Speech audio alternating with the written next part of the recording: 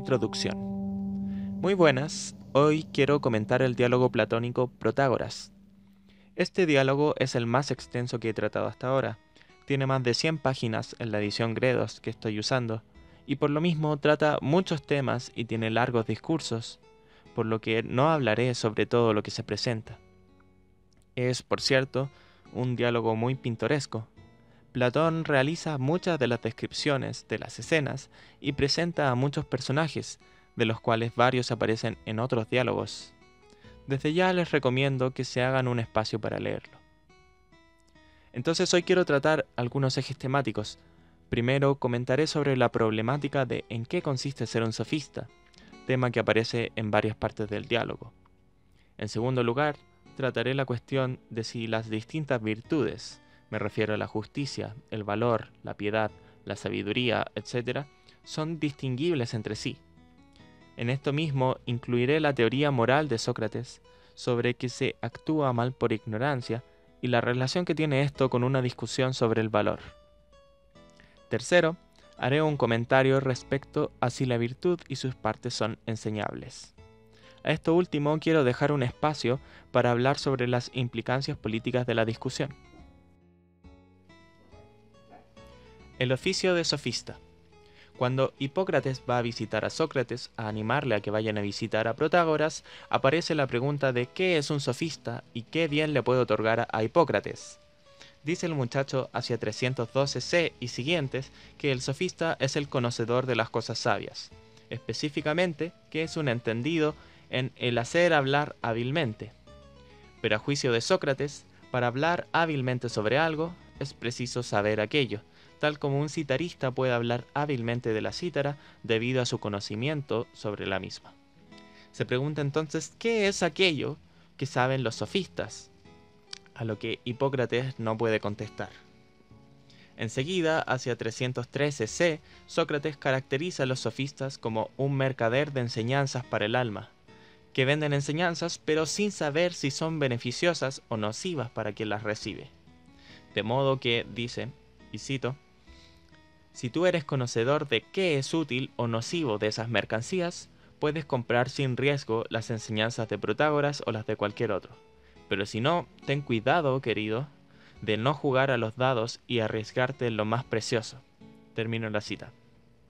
En estas consideraciones, parece haber una total ausencia de sentido crítico a lo aprendido, como si no pudiera someter a juicio aquello que aprendí, pero más aún, hay en esta cita un problema práctico. Es que si ya sé con antelación qué conocimiento es útil para mi alma o perjudicial, es porque aquel conocimiento ya lo tengo adquirido y sé que es bueno, en cuyo caso de nada me sirve comprar conocimiento. En este sentido, no es adecuada la analogía del mercader, porque aún sabiendo qué comida es buena y mala, necesito comer. Pero si ya sé qué conocimiento es bueno y malo, no necesito aprender.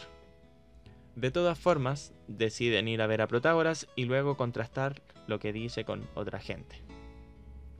Una vez reunidos con Protágoras y la multitud de gente que estaban en casa de Calias, le preguntan en qué beneficiará a Hipócrates reunirse con él. A lo que el sofista responde que si le frecuenta, cada día será mejor. Sócrates pregunta del mismo modo en qué materia es aquella lo que será mejor, a lo que Protágoras contesta, cito, Mi enseñanza es la buena administración de los bienes familiares, de modo que pueda él dirigir óptimamente su casa y acerca de los asuntos políticos, para que pueda ser él el más capaz de la ciudad, tanto en el obrar como en el decir. Termino la cita. Entonces Sócrates parafrasea esto diciendo que Protágoras pretende enseñar la ciencia política y de esta forma hacer buenos ciudadanos de los hombres que acuden a él. A mí me parece que ese parafraseo no es exacto, pues está omitiendo todo lo relativo a la economía y a la retórica, pero en el diálogo Protágoras está de acuerdo con el resumen de Sócrates. Entonces empieza una discusión sobre si las virtudes son enseñables, cuestión que retomaré más adelante. El caso es que ser sofista se presenta como ser un maestro de la virtud.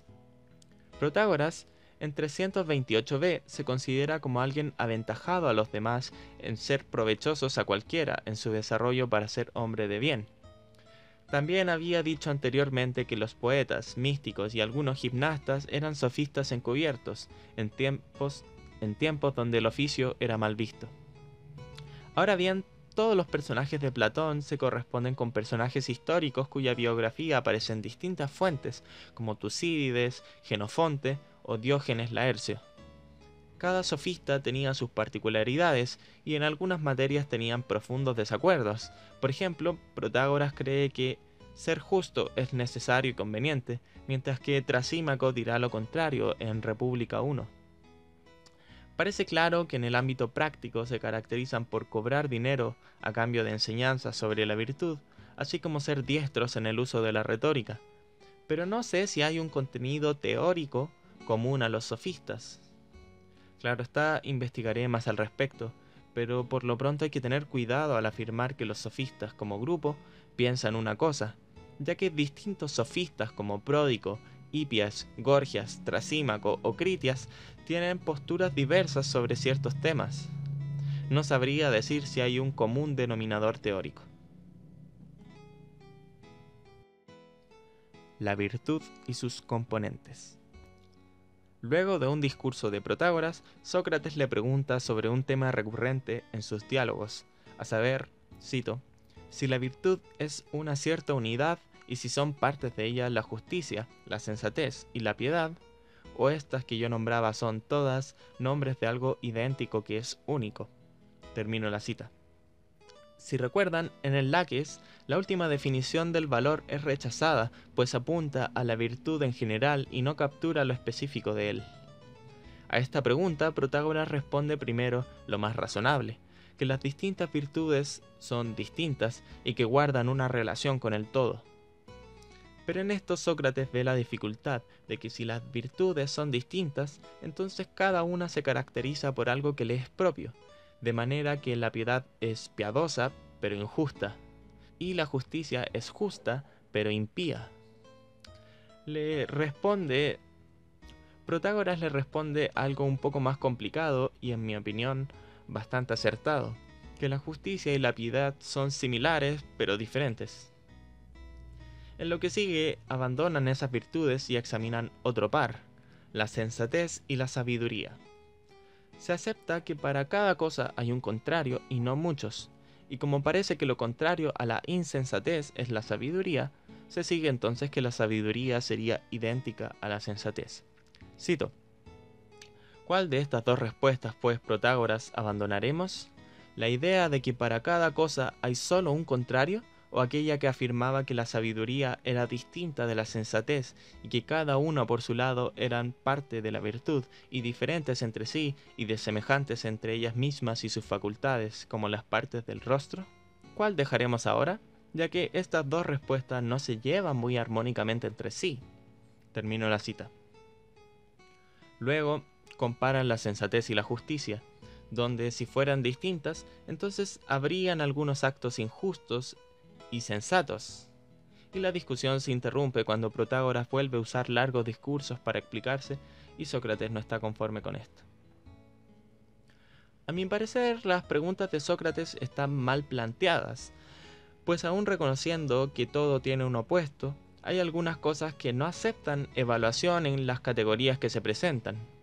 Por ejemplo, podríamos decir que todos los cuerpos son o ligeros o pesados, pero si evaluamos algo incorpóreo, como una idea, resulta que no es ligera pero tampoco es pesada.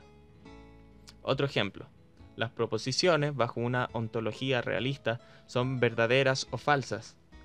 Pero no se puede juzgar algo que no sea una proposición en términos de veracidad y falsedad. El sol no es ni verdadero ni falso. Entonces yo diría que las distintas partes de la virtud no pueden evaluarse en términos de las otras, de modo que la justicia no es sensata, pero tampoco insensata. Podría ser que todo acto justo es sensato, pero debido a diferentes razones. La virtud es necesaria para la convivencia en la ciudad, de modo que es sensato ser justo para sostener la ciudad y sus beneficios. Esto no significa que la justicia y la sensatez sean lo mismo. Pero de vuelta al texto, se retoma la pregunta hacia 349b. Esta vez Protágoras responde que la justicia, la piedad, la temperancia y la sabiduría son muy similares entre sí, pero el valor es distinto de ellas, puesto que existen muchos hombres valientes, pero que no tienen las otras virtudes. Sócrates intentará mostrar que la valentía y la sabiduría son lo mismo, y trataré esto a continuación. Sócrates presenta su característica tesis de que el que actúa mal lo hace por ignorancia, pero le acompaña a esto una tesis hedonista. Es que ser dominado por los placeres es una expresión que no tiene sentido, pues el bien se corresponde con el placer y el mal se corresponde con el dolor. Hay placeres que en el largo plazo causan dolor, como comidas deliciosas, que causan enfermedad y pobreza. Así como también hay dolores que en el largo plazo causan placer, como la gimnasia. Pero aún en esos casos, quien se abstiene de hacer algo placentero, lo hace para conseguir un placer mayor en el futuro. Mientras que quien se somete a un dolor lo hace con la esperanza de evitar un dolor mayor. De modo que la expresión ser dominado por los placeres se refiere en realidad a ser ignorante, esto es, errar en la elección de los placeres y dolores por falta de conocimiento. Regresando a la discusión sobre el valor, tanto el cobarde como el valiente difieren en aquello que teme. El cobarde teme aquello que es indebido temer, mientras que el valiente teme solo aquello que es apropiado temer. Pero lo que uno teme es recibir un mal, es decir, recibir un dolor. La diferencia entonces entre el cobarde y el valiente es que el valiente tiene un conocimiento apropiado para reconocer y calcular los placeres y dolores, mientras que el cobarde es un ignorante en esta materia. De modo que la sabiduría y la valentía son equivalentes. Yo le veo dos dificultades a la teoría moral de Sócrates, que siempre se actúa mal por ignorancia. La primera tiene que ver que no considera los casos de incontinencia, es decir, cuando alguien reconoce que obra de mala manera, pero no puede evitarlo. Por ejemplo, alguien que está en un tratamiento para dejar de fumar, pero cede a la tentación y vuelve al vicio. En este caso, el actor no es ignorante, sino que tiene una voluntad débil. La segunda dificultad es que se reconoce el bien y el mal en términos absolutos, como si hubiese que descubrirlos cuando en realidad se generan de forma inmanente. Lo deseable lo es solo porque es deseado. Entonces, si, por ejemplo, alguien se abstiene de tener sexo porque considera que la virginidad hasta el matrimonio es lo más deseable, puede luego cambiar y considerar ahora que la virginidad no tiene ningún valor, de modo que, visto en retrospectiva, considera que ha obrado mal al abstenerse de los bienes del pasado. Otro ejemplo. Un hijo puede considerar muy indeseable compartir con su madre, pero una vez ésta muere, se arrepiente de no haber pasado más tiempo con ella. En el fondo, la diferencia que tengo con Sócrates es que él reconoce que lo deseable es un bien absoluto, y por ello requiere conocimiento para no errar. Yo, en cambio, creo que lo deseable es un bien relativo, junto con Protágoras, de modo que el conocimiento es siempre contingente. Puede que lo que es bueno hoy ya no lo sea mañana, pero vuelva a ser un bien pasado mañana. ¿Qué piensan ustedes al respecto? Anímense a escribir un comentario. ¿Es enseñable la virtud? Consecuencias políticas. Aquí seré bien breve. La pregunta sobre si la virtud es enseñable es central en el diálogo, y a esta pregunta deriva la discusión que traté en la sección anterior, además de una discusión lírica sobre un poema de Simónides que no trataré en este video. Es bien curioso cómo se invierten los papeles, pues Sócrates comenzó la discusión desconfiando de que la virtud no fuese enseñable, ya que todos los grandes virtuosos como Pericles no consiguieron enseñar la virtud a sus hijos, pero hacia el final del diálogo, Sócrates defiende que todas las virtudes son idénticas y consisten en el conocimiento. Pero si es conocimiento, entonces sí se puede enseñar. Protágoras, en cambio, comienza el diálogo declarándose un maestro de la virtud, y luego realiza esfuerzos para negar que las virtudes sean conocimiento, de modo que no se podrían enseñar. En este sentido, el diálogo es aporético y la discusión continuará en Menón. Uno podría compatibilizar las dos posiciones de Sócrates diciendo que la virtud sí es enseñable, pero que hasta ahora nadie tiene la sabiduría suficiente para ello, de suerte que no existen maestros. Pero esto sería negar toda virtud y veneración de las figuras de Atenas, y tal como se dice en Apología, aceptar que Sócrates es el más sabio al reconocer su ignorancia. Respecto al Protágoras que retrata Platón, no se puede salvar de su inconsistencia, pero me parece interesante rescatar lo que sostenía al comienzo en su momento retórico, pues ahí es cuando es más fiel al Protágoras histórico. Sostiene en sostiene en 322d que Zeus hizo a los hombres igualmente partícipes de la justicia y el sentido moral, a diferencia de otros conocimientos específicos como la carpintería o la medicina, que solo unos pocos la poseen y es bueno obedecerle a ellos. Dice, cito, por eso los atenienses y otras gentes, cuando se trata de la excelencia arquitectónica o de algún tema profesional, opinan que solo unos pocos deben asistir a la decisión, y si alguno que está al margen de esos pocos da su consejo, no se lo aceptan, como tú dices. Y es razonable, digo yo, pero cuando se meten en una discusión sobre la excelencia política, que hay que tratar enteramente con justicia y moderación, naturalmente aceptan a cualquier persona, como que es el deber de todo el mundo participar de esta excelencia. De lo contrario, no existirían ciudades. Termino la cita. De modo que, según el Protágoras del comienzo, la virtud política es algo que comparte toda la gente.